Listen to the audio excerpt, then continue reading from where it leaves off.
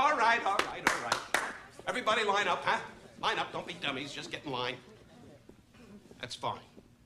Gentlemen, members of the National Office are coming here tonight for their annual inspection of this theater.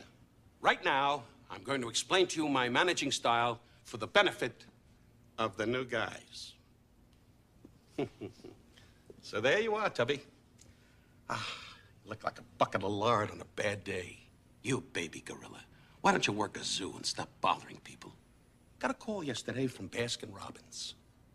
They said that they're down to only five flavors. You're swelling up as I talk to you.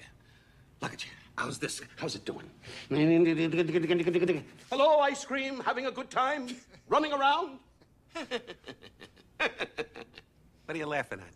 Because I called your friend a fat pig, huh? You think that's funny? Oh, no, I was just laughing uh, earlier when you were talking to his belly. You get a horse and live in the mountains someplace and don't bother anybody.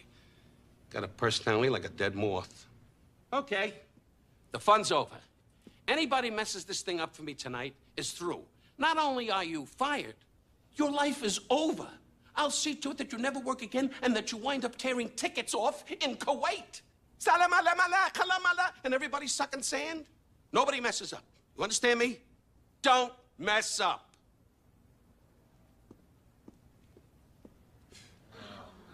Four hundred bucks, and we need fifty thousand in six days. We're not even close. I know we're not. Hey, there's a message. Maybe it's a job. Hey, Fatso! Fatso! It's me, Hamilton, your uh. boss from the movie theater. I saw that TV commercial you made. Fat, fat, fat! When you sweat, marbles come off your ass. Uh.